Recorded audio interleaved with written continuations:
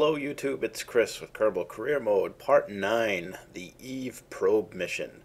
In this mission I will be sending a probe to Eve. I will get an Eve orbit.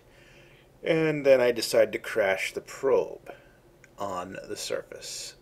Uh, this netted a bunch of science, so uh, even just doing the, uh, the transfer and the deep space between, uh, it would be the high Kerbol Kerbol orbit, the sun. So whatever that is, Kerbol, I think. And then the high and close to uh, Eve, and then uh, the upper atmosphere, and I, I, ran out of battery power, so that's all I got. But if I send back anything, um, I'll definitely put parachutes on it. I didn't have parachutes on this to save on weight. And then I can um, you know, get a, a, lander down there and, and do a lot of atmospheric stuff. I, I, still want a couple other science parts that make the mission worth it, so I'll, I'll just wait until I get those, but I should have enough points after this to get them.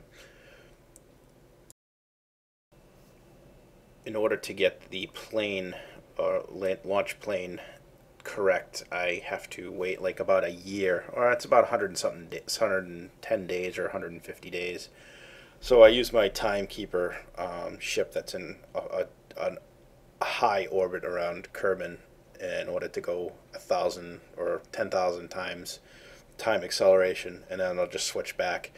Yeah, since this has happened, I've actually put in uh, the Kerbal alarm clock, and it works way better. To I was kind of guessing, you know, keeping track in my mind on what day it was.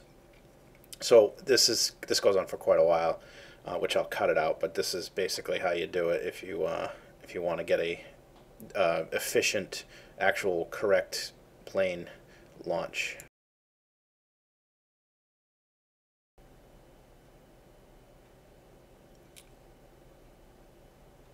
Right, so I finally get to my launch phase angle to Eve, do the burn, and I'll do some a myriad of mid-course corrections in order to get up a good encounter with Eve.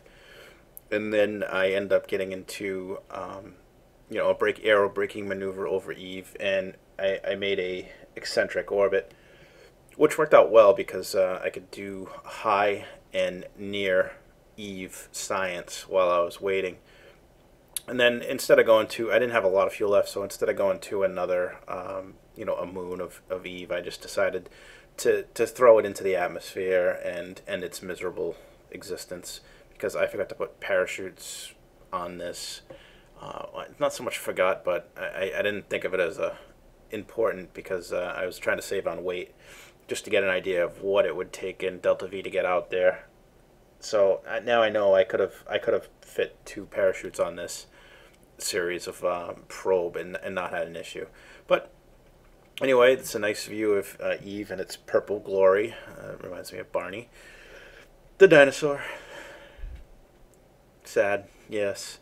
So here's my final aero braking maneuver that's going to get me into uh, a collision course with Eve. Uh, I was kind of hoping I would get a little bit more sun, but I, I kind of planned it very badly, and I didn't have enough battery power to transmit uh, much further than the upper atmosphere all that's left is a solar panel and a strut section once this thing finally explodes.